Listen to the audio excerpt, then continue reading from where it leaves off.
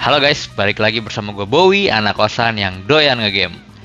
Ya, gue emang udah lama banget nggak update guys di channel ini. Mungkin sudah ada beberapa purnama kali ya, sudah dua tahun atau tiga tahun lalu yang terakhir update ya. Cuman terima kasih yang lo masih subscribe, lo masih setia nungguin gue di channel ini. Nah, eh ini udah lama banget ya. Uh, dan oh ya, dan untuk yang baru pertama kali ke channel ini, di channel ini gue itu banyak ngomongin terkait game-game Nintendo Switch, terkait per, uh, apa namanya aksesoris, terus Nintendo Online Membership dan pokoknya terkait Nintendo Switch lah.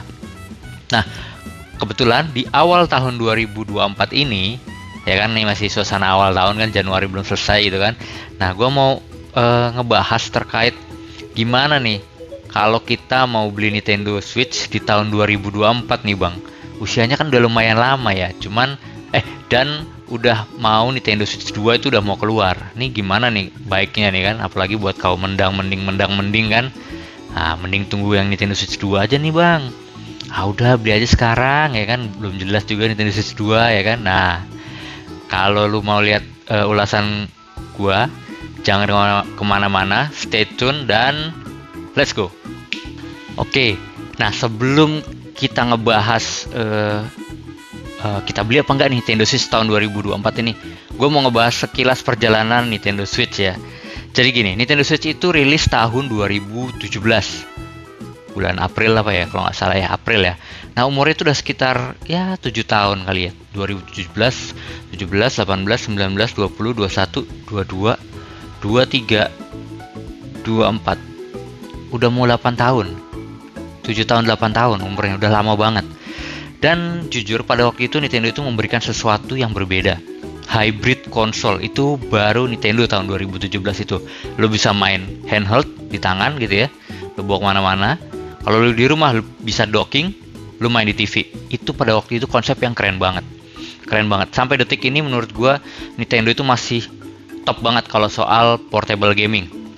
Walaupun kemampuannya mesinnya itu nggak sepowerful uh, eh, PS atau Xbox. Ini kalau dibandingin uh, eh, PS4 pada waktu itu ya, PS4 itu rilis tahun 2013, tapi kemampuan uh, mesinnya itu uh, masih kalah.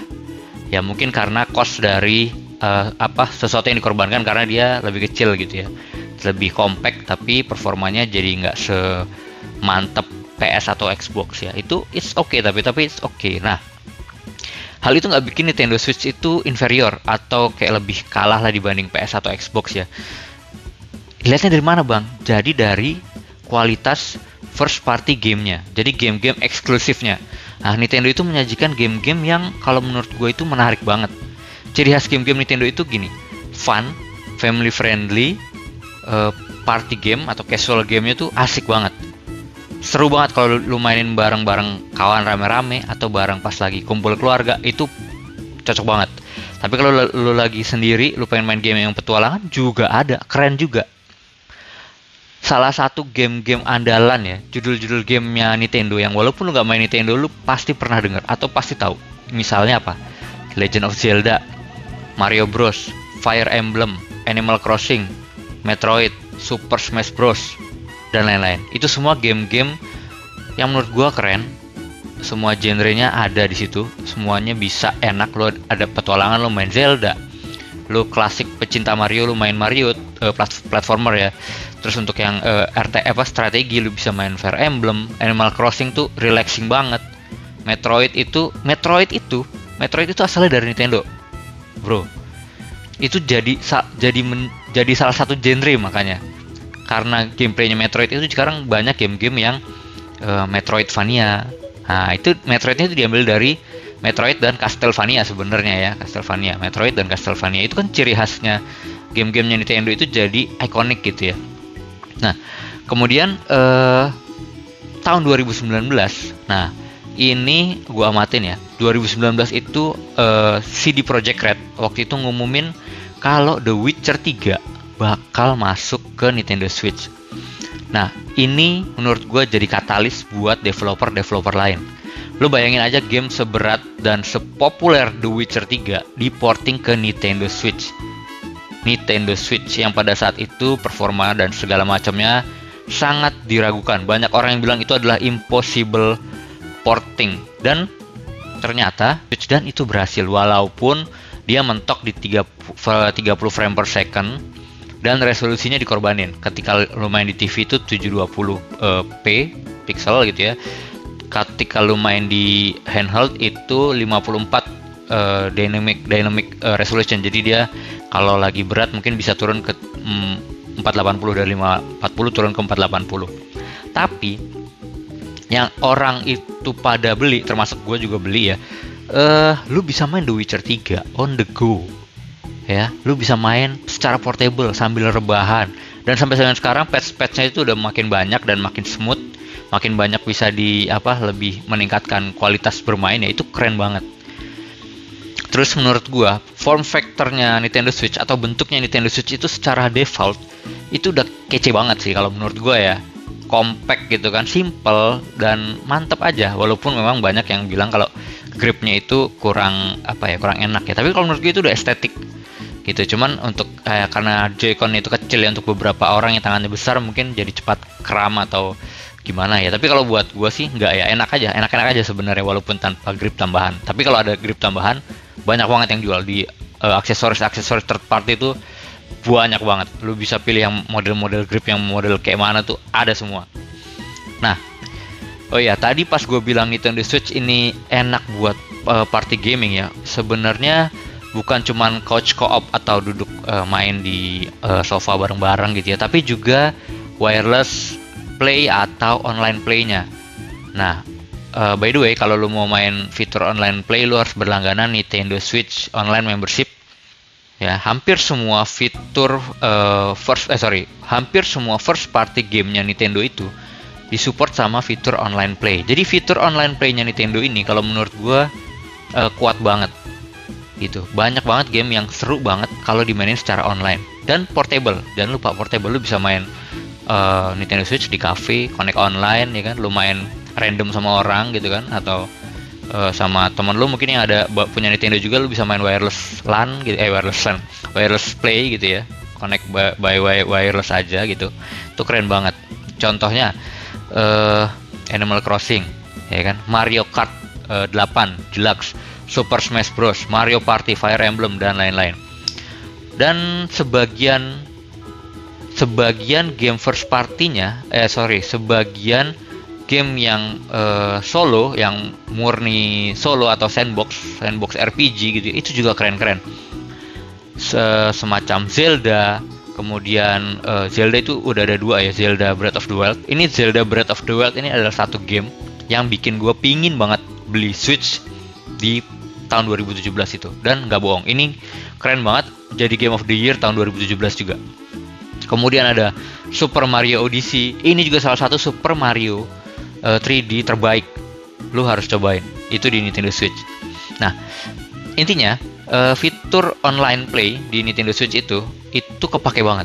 Keren banget. Dan apa ya mengoptimize banget pengalaman bermain lu. Itu keren banget. Nah cuman harga game-game Nintendo Switch itu cenderung lebih mahal kalau kita bandingin dengan uh, eh, PS atau Xbox atau Steam mungkin ya. Uh, mungkin Steam agak lebih murah sih. Terutama game-game indie. Ini yang gue perhatiin ya. Jadi game-game indie itu sekarang banyak yang bagus, bro. Jadi contohnya uh, Hades. Hades itu uh, tahun berapa ya? Kalau nggak salah pernah jadi uh, Game of the Year juga itu Hades itu. Di Steam itu harganya cuma 100 ribuan. Itu Hades tuh uh, genrenya roguelite ya. Jadi uh, apa roguelike ya antara itulah. Pokoknya intinya uh, ngelup uh, antara ketika lu mati lu balik lagi dari awal. Uh, nanti uh, semua item reset dari nol. Cuman ada beberapa skill yang bisa lu pakai terus sampai lu berhasil ngalahin raja terakhir gitu kan. Nah, intinya nanti lu balik lagi terus ngelup seperti itu terus. Nah, cuman uh, intinya gameplaynya asik ini contoh aja ya Hades itu salah satu game indie yang uh, keren banget gitu ya. Kalau lu main di Nintendo Switch itu harganya bisa dua kali atau tiga kali lipatnya kalau untuk game-game indie. Kenapa? Karena uh, Nintendo Switch itu dia punya faktor portabilitas yang menurut gua jadi nilai tambahnya dia gitu. Jadi wajar kalau game-game yang third party ya third party itu yang indie apalagi ya itu jadi lebih mahal memang. Mostly lebih mahal kalau gue perhatiin itu aja cuman uh, Selain itu, harga game cartridge-nya pun gitu juga. Harga secondnya itu rata-rata agak lebih tinggi dibanding yang game-game dari PS atau Xbox. Contoh Zelda Breath of the Wild tahun 2017 itu, kalau lu cari di marketplace mungkin harga secondnya masih 400-500. Masih tinggi. Harga barunya pada waktu itu 600. Jadi masih kalau lu beli game fisiknya, kalau lu mau jual lagi itu lumayan masih bisa dihargai cukup tinggi di marketplace. Kemudian kelemahannya, kelemahannya Nintendo Switch ini yang paling ketara ya tadi yang gue bilang mesinnya itu dia nggak sepowerful konsol PS atau Xbox. Jadi untuk beberapa game yang uh, di PS4 itu dia bisa uh, 60 frames per second, ketika di Nintendo Switch mungkin mentok di uh, 30 or mungkin lower ya. Jadi uh, ya di situ dia kelemahannya. FPS-nya dia lebih mentok di 30 kebanyakan. Tapi kalau untuk game-game first party uh, beberapa tuh bisa uh, sebagian besar mungkin ya, sebagian besar itu 60 bisa 60 uh, FPS karena dia mengoptimize memang game-gamenya di uh, Nintendo itu dia mengoptimize untuk gamenya sendiri otomatis lah ya gitu. Nah, gambar, kualitas gambar, grafik itu juga ya contoh tadi yang gue sebut The Witcher itu The Witcher itu kualitasnya di drop banget kalau dari lu main di TV lu main uh, The Witcher 3 docking di TV dengan Nintendo Switch lu bandingin dengan PS4 itu jauh banget. Bedanya kentara banget. Di Nintendo Switch lu main di TV akan kerasa ih gambarnya burik banget burem gitu kan. Betul tapi lu main The Witcher lu nggak bisa main sambil rebahan kalau di PS4 ya kan? Nggak bisa sambil tiduran gini gitu kan? Sambil beol gitu kan? Nggak bisa. Tapi kalau di Nintendo Switch lu sambil guling-guling gitu kan? Lu bisa main The Witcher 4 dengan kualitas yang portable. Tuh kalau kalau kalau di portable kualitasnya 540p itu nggak terlalu uh, maksudnya nggak terlalu masih playable banget lah nggak terlalu jelek banget gitu. Masih oke okay, it's okay gitu. Jadi dari yang tadi gue sebutin ya uh, Nintendo Switch ini Pro-nya kalau lu di 2024 nih jadi nah ini nih kesimpulannya nih. Bagaimana uh, kalau beli Nintendo Switch di tahun 2024 jadi tadi plusnya Nintendo itu adalah menurut gue ya the first and still the best hybrid console system. Walaupun sekarang menurut gue udah ada uh, Steam Deck kemudian udah ada uh, Lenovo Legion dan sebagainya itu semua tuh kiblatnya awalnya itu ke Nintendo Switch mereka baru bisa buat sekarang sekarang ini berapa tahun satu dua tahun belakangan tapi Nintendo Switch sudah memulai itu tujuh tahun yang lalu that's the point Kemudian game-gamenya fun banget, relaxing banget, intuitif banget. Joy-Con itu intuitif banget bro. Jadi kalau lu mau main motion controlnya itu, nah ini satu lagi nih, motion controlnya itu, Joy-Connya itu, menurut gue gyroscopicnya itu sensornya oke okay banget. Kalau dibanding PS4 bahkan PS5 pada waktu PS5 awal-awal itu beberapa game yang support gyronya itu agak-agak masih agak-agak kurang intuitif gitu ya tapi Nintendo itu banyak gamenya yang disupport dengan gyro dan gyronya mostly oke. Okay. Emang ada beberapa yang mungkin agak kurang oke, okay, macam House of the Dead itu kalau lu ngarang-ngarahin agak-agak susah gitu. Tapi selain daripada minor lah, mostly itu keren banget. Gyroscopicnya tuh mantep. Lu bayangin itu tahun 2017 loh ya, teknologi gyro itu sudah dioptimalkan se sedahsyat itu. Itu menurut gua keren banget. Sampai dengan sekarang Kemudian library gamenya sampai dengan saat ini banyak banget, udah ribuan. Ribuan game sejak 2019 itu mulai banyak semenjak The Witcher 3 lah, itu banyak game yang diporting. Persona pun diporting. Oh game-game populer yang di konsol PS itu banyak diporting ke Nintendo Switch dengan kualitas yang oke. Okay. Kemudian yang OLED model itu keren kalau menurut gua. Jadi uh, ya mungkin nanti ada sesi lain untuk membahas model-model Nintendo ya, tapi uh, Nintendo Switch yang OLED model itu keren. Jadi layarnya itu, layarnya itu adalah layar OLED. Jadi kualitas gambarnya lebih jernih, lebih kece dan keren lah pokoknya, cool, cool banget. Nah, untuk minusnya nih, mesinnya Nintendo Switch ini memang sudah mulai agak ketinggalan ya karena udah 7 tahun lalu 7 tahun lalu pun itu dari PS4 sudah kalah ya secara mesin nah kemudian uh, karena mesinnya itu dia sudah ketinggalan otomatis game-game berat yang diporting ya yang dari PS4 yang diporting itu sudah mulai uh, ngorbanin antara performa atau grafik atau keduanya gitu. Nah ditambah lagi mungkin game-game yang baru yang makin ke sini uh, yang butuh uh, spek lebih berat otomatis dia nggak akan tersedia di Switch. Itu dia minusnya. Nah jadi kesimpulannya adalah kalau lo mau beli Nintendo Switch di 2024 tergantung apa game yang mau lo mainin kalau lu dan gaya bermain lu juga seperti apa gitu kalau lu adalah casual player yang lu nggak punya banyak waktu untuk bermain tapi lu pingin main gitu nah lu bisa ambil Nintendo Switch ini. Kenapa? Karena ya itu portable portabilitasnya itu tinggi banget, lu bisa main di mana aja dan still fun, still asik banget. Karena ya itu tadi library-nya banyak banget. Lu mau genre yang seperti apa, hampir semuanya ada di Nintendo Switch. Party game bisa, lu mau main solo player juga bisa. Petualangan oke, okay, sandbox RPG ada semua gitu. Jadi tergantung lu mau main game apa gitu jadi kalau gue menyarankan ya kalau lu uh, bingung mau beli atau enggak ya saran gue sih beli aja Kenapa? Karena dulu ada pepatah mengatakan lebih baik menyesal membeli daripada menyesal tidak membeli. Nah, buat lu uh, pecinta uh, konsol ya untuk lu uh, pemain pecinta game ya. Lu kalau melewatkan Nintendo Switch ini mungkin lu akan menyesal sih karena sebagus itu cuy sebagus itu Nintendo Switch itu sekeren dan secool itu lu lihat aja deh di pasaran ini di pasaran perhatiin aksesoris yang paling banyak itu aksesorisnya Nintendo Switch. Kenapa? Karena Nintendo Switch itu kayak bisa di apa-apain aja. Gripnya bisa.